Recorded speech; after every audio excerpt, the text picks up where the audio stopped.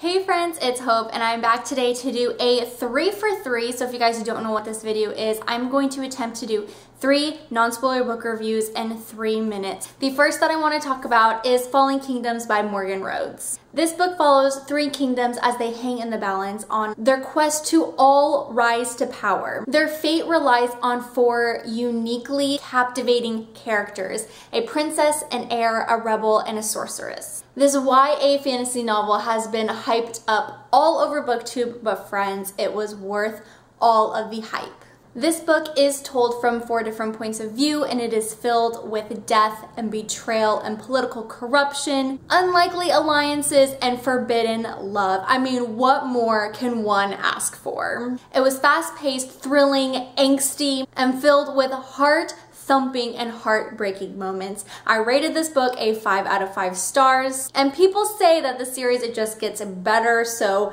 I'm just expecting greatness for the rest of the books to follow. The next book that I want to talk about is Let It Snow. This book is three Christmas anthologies revolving around an epic snowstorm occurring on Christmas Eve. Our first anthology told by Maureen Johnson follows a girl whose parents have just been sent to jail over getting in a brawl for some hard to obtain Flobies. So our main protagonist is then forced to spend her Christmas with her grandparents, so she is forced on a train train, but while en route to her grandparents, the train cannot get through the storm. So she ends up relying on a stranger that she met in the Waffle House, who ends up opening her eyes to a whole new world. I rated this anthology a 4 out of 5 stars. The second anthology, told by John Green, follows three friends as they venture out into the snowstorm to get to this Waffle House because it is filled with hot, distraught cheerleaders from said train. Through this adventure, no one thought that finding one's true love and a lifelong friend was a possibility, but in true John Green fashion, the reader gets a good laugh at how unworldly and naive our main protagonist is. His nerdy personality and how unexperienced he is made this anthology really funny. I also ended up rating this anthology a 4 out of 5 stars. The third anthology told by Lauren Myracle follows a distraught girl who has just broken up with her boyfriend and it is all her fault. She's trying to rectify the situation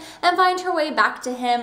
And I did not enjoy this one as much as the other two. I ended up rating this one a 3 out of 5 stars. I just found this one, while very realistic, our main character, Addie, wasn't very likable. She was a little bit stuck up and narrow-minded. So I just didn't care for it as much as the first two, which were filled with a lot of humor. And for the last one, I want to talk about The Wrath and the Dawn by Renee Ahdieh, which is a story inspired by A Thousand and One Night. In a land ruled by a murderous king, night after night, he takes in a new bride, and by sunrise, the bride has been murdered. Our protagonist, Shahrzad, volunteers to be the next queen with full intentions on avenging her best friend's death. But when she starts spending time with the king, she starts to see past his murderous and treacherous ways. So while this story was a little bit tough for me to get into for the first 100 pages because I felt it to be very unrealistic, the last half of the book blew me away. I loved how diverse this was in the setting and with our characters. I loved the beautiful quotes that were just sprinkled throughout this book